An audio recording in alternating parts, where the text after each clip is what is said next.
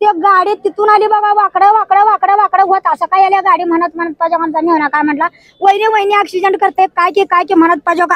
मी बाजूला सरकले ती भीत माझ्या अंगावर पडताना माझा मुलगा काढला इटा मला बाजूला घेतला. सापडले खाली. असं कॉर्नर करून त्या शाळेवर गाडी आणून पालता केला बघा त्याला सोडू नका तुम्हाला हा जोडून पाया पडते त्या नासक्याला. सोलापूर शहराजवळील होडगी गावाजवळ असलेल्या औस गावाजवळ शुक्रवारी दुपारी बारा वाजण्याच्या सुमारास सिमेंटचा बलकर पलटी झालाय. एका शाळेजवळ असलेल्या बस स्टॉप समोर हा अपघात झालाय. सोलापूर ग्रामीण दलातील मोठा फौजफाटा या ठिकाणी दाखल झाला असून पलटी झालेला बलकर बाजूला करण्यात आला.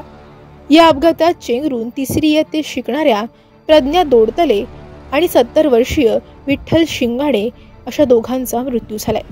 तर दोन मृत हे बाहेरगावचे असल्यामुळे त्यांची ओळख असून पटलेली नाहीये. तर काही जण ह्या अपघातात जखमी झालेत. या अपघातानंतर औज येथील ग्रामस्थांनी एकच गोंधळ सुरू केला. औज गावाच्या पुढे चेट्टीनाड आणि झोरी सिमेंटच्या कंपन्या आहेत. सिमेंटच्या वाहनांची मोठ्या प्रमाणात वाहतूक होते. यापूर्वी गावातील एका इसमाचाही मृत्यू झाला होता. प्रशासनाकडे तक्रार करून देखील ही वाहतूक बंद केली नाही. ग्रामस्थांनी पोलिसांच्या मदतीनं आता चार मृतदेह बाहेर काढलेत. मृतदेहांची रुग्णवाहिका ग्रामस्थांनी रोखली आहे. त्यामुळे एकच तणावपूर्ण परिस्थिती सध्या निर्माण झाली आहे. आता सर्रास या घटना होत आहेत. एक तर आमचा सोलापूर होडगी रस्ता हा सिंगल रस्ता असल्यामुळे Chettinad cement Zuari cement Birla cement आता आणखीन दोन महिन्यात चालू होतील हे साखर कारखान्याचे ट्रॅक्टर.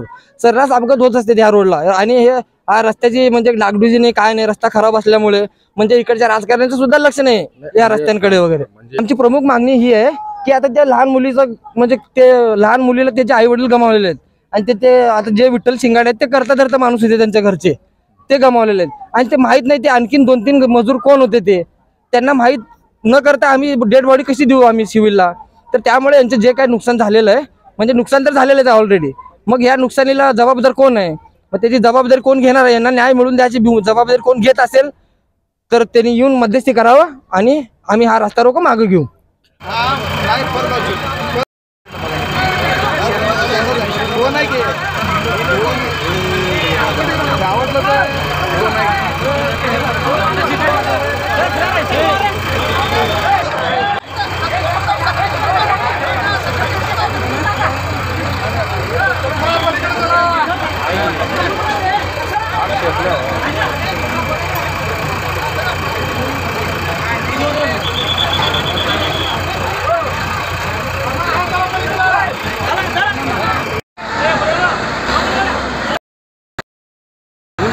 Shut up.